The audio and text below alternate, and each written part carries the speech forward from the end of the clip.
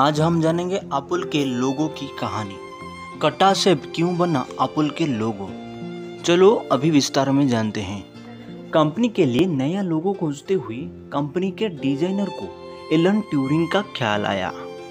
Alan Turing एक प्रसिद्ध computer वैज्ञानिक थे। ये लोगो एलन ट्यूरिंग को श्रद्धांजलि देने के लिए बना गया है। एलन ट्यूरिंग की कहानी तब की है जब यूएस में होमोसेक्सुअलिटी गुनाह था।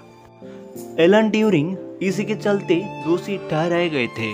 उनको पनिशमेंट देने के लिए केमिकल ट्रीटमेंट देना तय हुआ। उन्हें साइनाइड इंजेक्टेड एप्पल खाने के लिए दिया गया, जिसे खाने से उनकी मौत हो गई। उनके शव के पास से चखा हुआ जहरीला सेब बरामद हुआ था। ये भी कहा जाता है कि सेब ऐसा फल है जिसकी आकृति थोड़ी सी कटने के बाद भी पहचान नहीं बदलती। इसीलिए कंपनी ने इसे अपना लोगो बनाया।